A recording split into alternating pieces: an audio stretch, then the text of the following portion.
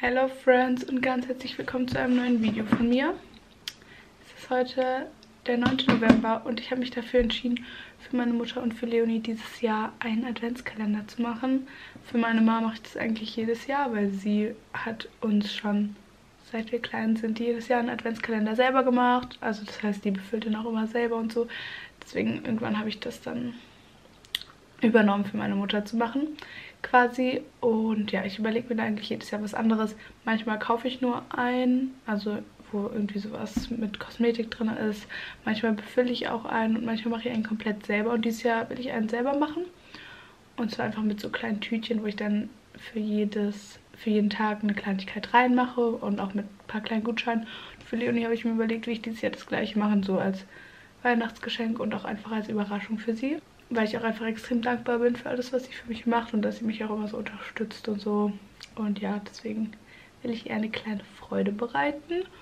Und ja, dafür werde ich jetzt gleich erstmal in die Stadt fahren und ein paar Dinge einkaufen, also auch was ich da reintun will. Ich bin richtig stolz, dass ich so frühzeitig anfange. Und ja, ich dachte mir, ich filme ein Video darüber. Ich weiß nicht ganz, wann das online kommen wird, weil es kann natürlich erst online kommen, wenn es Leonie schon gegeben hat, weil ansonsten guckt sie dieses Video an und dann wäre die Überraschung kaputt. Und ja, ich dachte ich filme das einfach. Vielleicht interessiert es einige und ihr wollt auch irgendjemand überraschen oder ihr guckt meine Videos einfach gerne. Das wäre auch schön. Aber ich wünsche euch ganz viel Spaß bei diesem Video. Ich werde jetzt erstmal in die Stadt gehen.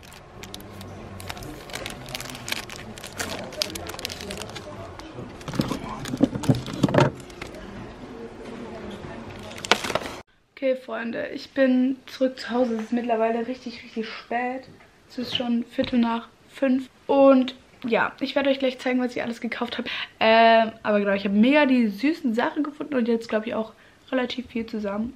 Und ja, ich war übrigens bei Müller, bei DM und ich war noch in so einem Tee-Kaffeeladen, den es bei uns in der Stadt gibt. Da gibt es immer mega die süßen Sachen. Da habe ich auch noch ein paar Dinge für meine Mutter gekauft. Einfach Tee für 10 Euro gekauft. Das reicht mal wieder. Und ich war bei Alnatura dann noch, ganz kurz muss ich erzählen, um Lebensmittel zu kaufen, habe ich Seelachsfilet gekauft Zwei Seelachsfilets, 10 Euro. Ich dachte, das kann nicht wahr sein, aber ja. Wir hatten in ähm, Geografie jetzt erst Nachhaltigkeit und Aquakulturen und so. Deswegen wollte ich auch schon darauf achten, dass der Fisch jetzt aus einer guten Haltung kommt und nachhaltig ist und so. Aber ja, darum geht es gerade auch nicht. Okay, so sieht das jetzt hier aus. Das ist der Stapel für meine Mutter. Ähm, ich habe dezent den Überblick verloren und viel zu viel gekauft, habe ich das Gefühl. Weil da habe ich halt auch noch so drei Tütchen aus diesem Laden. Und ich habe das Gefühl, es sind mehr als 24 Sachen. Aber ist nicht schlimm. Wenn nicht, dann schenke ich sie einfach zu Weihnachten. I mean, why not? Dann, das ist der Haufen für Leonie. Das sieht, finde ich, eigentlich ganz gut aus. Und im DM, da gab es diese Karten. Weihnachtskalorien zählen nicht. Da dachte ich mir, das kriegt sie auch. Und dann habe ich noch, oh, das gehört auch dazu, ich habe auch ein paar Sachen für mich gekauft. Und so insgesamt habe ich hier solche ähm, Geschenkanhänger gekauft. Und zwar sind es jeweils 24 Stück, also perfekt für je Mama und Leonie. Und dann noch solche Sticker, dass ich damit die Tüten verschönern kann und noch so Glitzerband. Okay, ich würde sagen, ich zeige euch einfach mal, was ich jeweils gekauft habe. Also als erstes für meine Mutter habe ich hier solche Trüffelmandeln gekauft. Das heißt, es sind so Mandeln in Schokolade.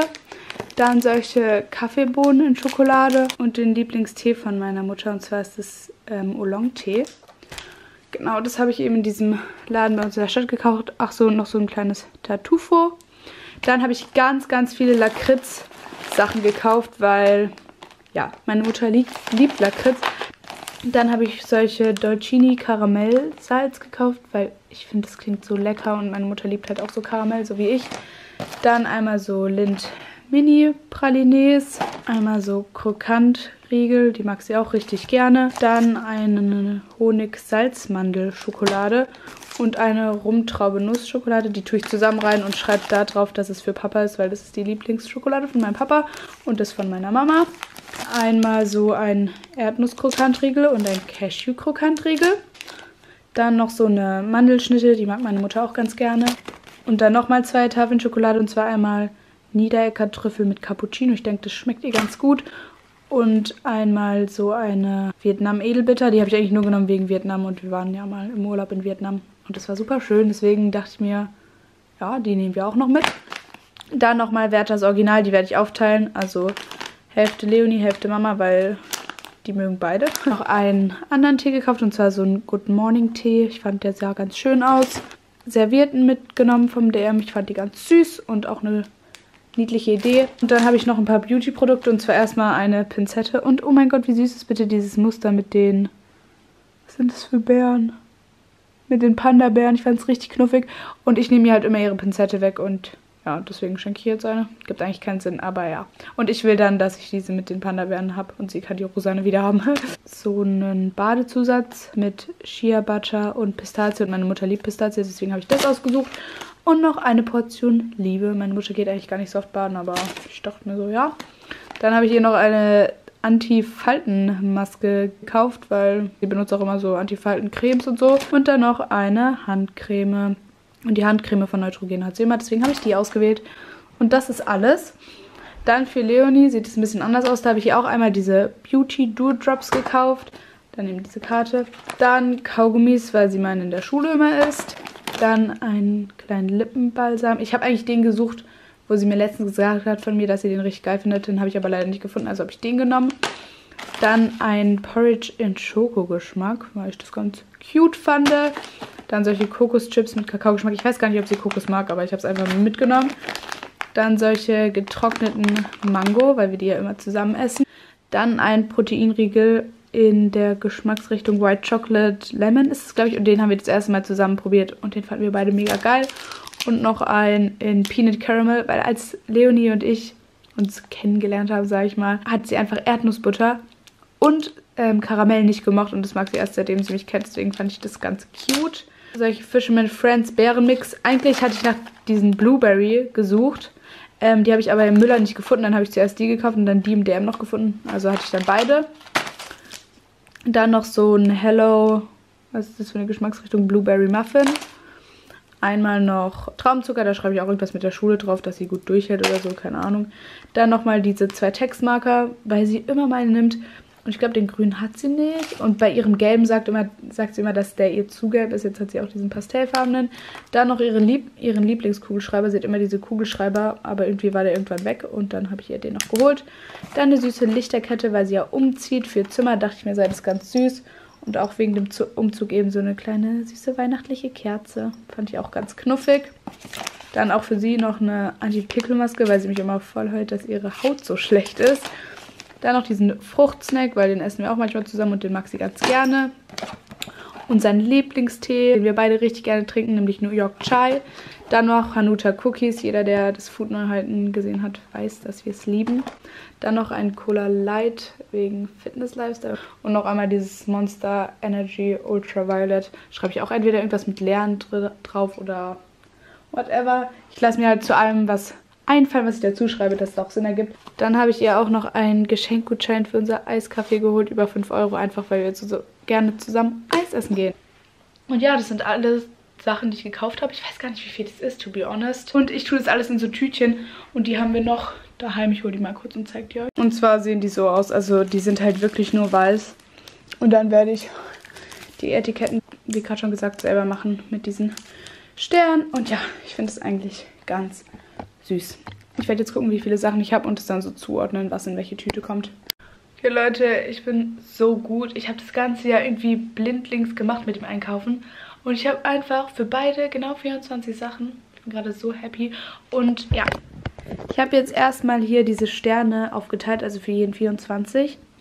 Und ich habe noch so kleine Mini äh, wie nennt man die, Wäscheklammern. Und damit will ich jetzt versuchen, das hier so an die Tüten zu machen. Weil ich will irgendwie zuerst die Tüten designen und dann befüllen. Ich glaube, das ist schlauer. Genau, und zwar habe ich da einmal noch so lilane und so weiß. Ich weiß gar nicht, ich glaube, die habe ich mir mal irgendwie gekauft, um Bilder aufzuhängen, habe damit aber nie was gemacht. Und ich werde die jetzt einfach beschriften von 1 bis 24 und dann in die Tüten packen. Oh mein Gott, Leute, ich habe das einfach gerade nur so als Probe gemacht und ich finde, es sieht irgendwie voll knuffig aus. Wenn das dann hier so alle sind und dann mache ich noch so eine Lichterkette mit in die Box und so. Ach Gott, ist das knuffig. Ich habe mich jetzt auf den Boden gelegt, um das zu machen, weil, keine Ahnung, will ich gerade irgendwie. Zwar werde ich jetzt einfach beschriften. Das erste ist fertig. Ich habe noch so Gold- und Silberstifte. Damit kann ich das Ganze ein bisschen verzieren. Das werde ich aber bestimmt nicht bei jedem machen. Weil, ja, ist ja schon so recht viel Arbeit. Guck, da sind die ganzen Sachen, die ich gekauft habe. Nett. Ja, wie findest du, was ich ausgewählt habe? Sehr gut. Würde mich freuen. Bist du froh, dass ich das mache? Ja. Guck, so eins und dann... Oh. ja, sehr schön.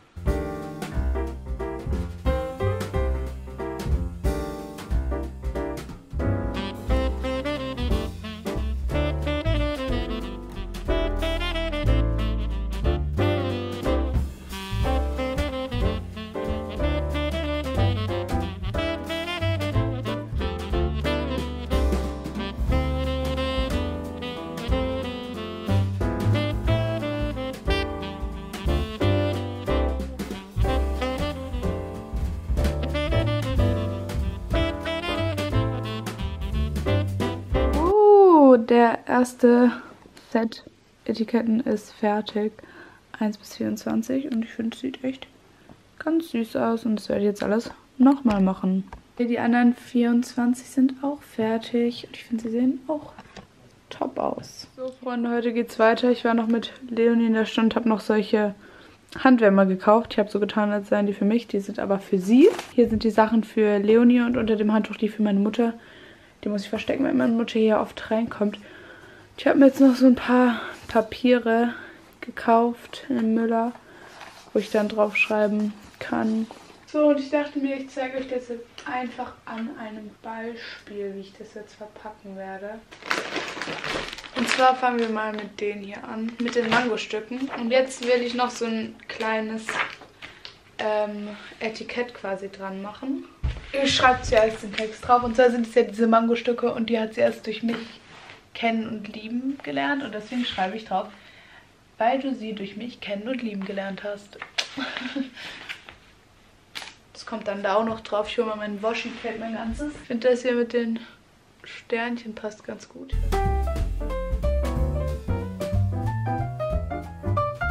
Uh, und dann ist unser erstes Tütchen fertig. Ich finde, es sieht mega cute aus. Yes. Ich glaube, ich klebe es auch da hinten nochmal zu. Dass sie da nicht reinlinsen kann. Die gutste. Oh mein Gott, I like it very much. Und das mache ich jetzt mit den ganzen anderen Geschenken auch noch. Oh mein Gott, das ist voll die Arbeit. Und dann mache ich es ja nochmal für meine Mutter. Aber New York Chai zum Beispiel passt ja gar nicht in so eine Tüte. Und den werde ich dann einfach einpacken und dann den Stern draufkleben. Mein kleines Kärtle. Da schreibe ich jetzt zum Beispiel drauf. Ich hoffe, ähm, niemand trinkt ihn dir weg, weil Leonie muss ihren Tee immer in ihrem Zimmer aufbewahren, weil ihn sonst ihre Familie wegtrinken würde. Und darüber habe ich mich mal so ein bisschen echauffiert und deswegen, ja. So, und dann ist auch schon die zweite Nummer fertig. Und das mache ich jetzt einfach mit allen Sachen, die ich gekauft habe. Und ja,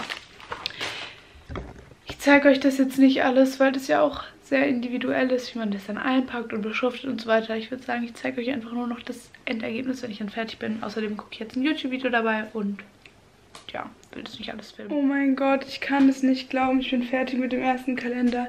Ich saß wirklich so lange am Einpacken. Ich habe das voll unterschätzt. Ich hätte niemals gedacht, dass es so lange dauert. Aber ja, so sieht der Spaß jetzt hier aus.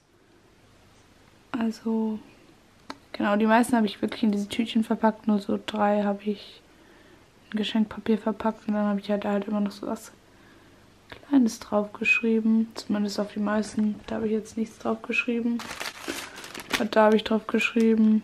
Fandest meinen ja so gut, habe den aber nicht gefunden. Hoffe, der ist auch gut. Und da habe ich so ein Labello reingetan.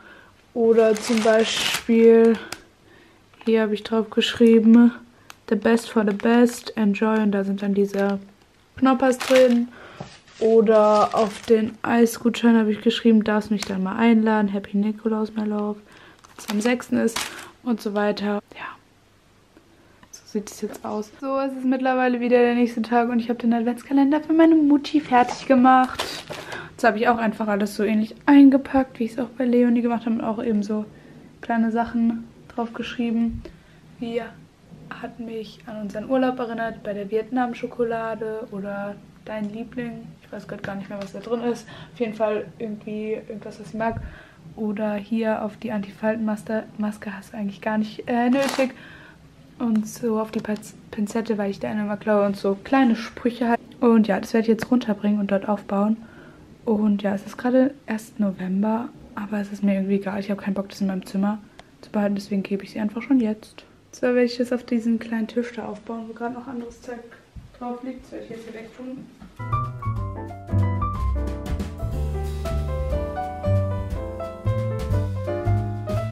Okay, irgendwie habe ich gedacht, das sieht viel süßer aus. Sieht irgendwie nicht so schön aus, wie ich mir das vorgestellt habe.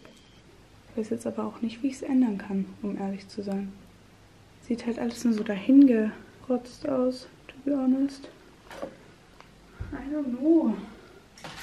Ich habe hier noch so eine Lichterkette. Also so sieht jetzt das Endergebnis aus.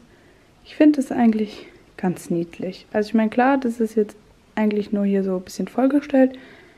Aber ja, es sieht doch ganz süß aus. Also ich finde, das kann sich eigentlich sehen lassen und ich denke, sie wird sich sehr darüber freuen. Doch eine Überraschung hier. Was eine Überraschung? Nein, das ist ja, ja der Hammer. Dabei ist ja heute erst der. Ja, aber ich wollte es dir jetzt schon geben, weil sonst Oh. liegt es doch nur in meinem Zimmer. Oh Mann, das hast du aber echt süß gemacht. Schön. Ganz toll, Marike. Eine Überraschung für dich. Soll ich sie geben? Was? Jetzt musst du doch mehr schleppen. Es ist richtig cute. Okay? Das habe ich dir gemacht. Was ist?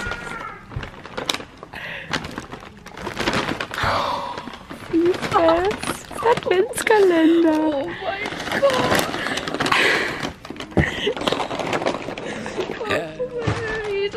Ich jetzt gar nicht. Das ist so süß. Ich auch, weißt du, ich mache doch jedes Jahr meiner Mama ein. Und dann dachte ich mir so, weil du auch immer für mich da bist und, mich auch immer mit YouTube so unterstützt, dachte meine, ich, süß. Mache ich das jetzt als Dankeschön. So süß. Oh Ich habe auch eine Lichterkette dazu. Weil eigentlich wollte ich das so süß in dein Zimmer aufstellen, aber dachte ich mir so, ich komme eh nicht in deine Wohnung. Ja. Da freue ich mich jetzt wirklich mega drüber. Und- das ist so süß. Gell? Oh mein Gott. Weißt du, Hallo Freunde, it's me, the Editing Pro. Wir haben gerade den 28. November und ich bearbeite dieses Video. Ich weiß, es kommt sehr spät und ich weiß auch gar nicht, ob das irgendwen interessiert hat. Aber ja, ich dachte mir, ich werde es jetzt trotzdem hochladen. Ich hoffe sehr, es hat euch gefallen. Wenn ja, dann gebt einen Daumen nach oben. Abonniert auch gerne meinen Kanal und folgt mir auf jeden Fall auf Instagram. Da freue ich mich immer sehr. Und ja, dann hoffe ich, sehen wir uns beim nächsten Video wieder. Bye!